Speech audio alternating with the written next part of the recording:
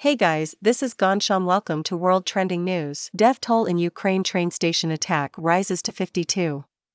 Kiev, the number of civilians killed in the Russian strike on a train station in Ukraine's Kramatorsk has increased to 52, with 109 people injured, a top official announced on Saturday.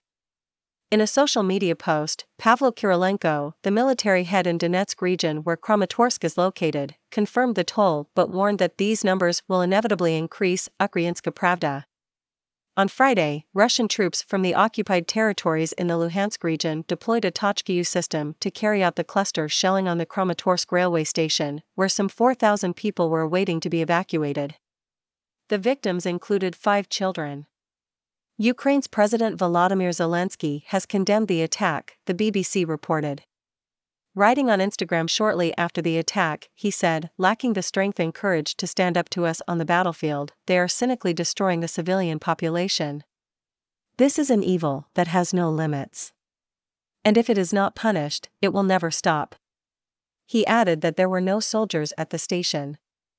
The US, European Union, EU, and UK have condemned the incident and have since announced additional military support for Ukraine. The EU's foreign policy chief Josep Borrell told the BBC that the attack in Kramatorsk was another attempt to break morale after Russian forces were unable to win by fighting the Ukrainian army. This. Welcome to the World Trending News. If you want to more update regarding around the world trending news, then subscribe our channel and press the bell icon and share with your friend and family. Thank you very much for watching our video. Thank you.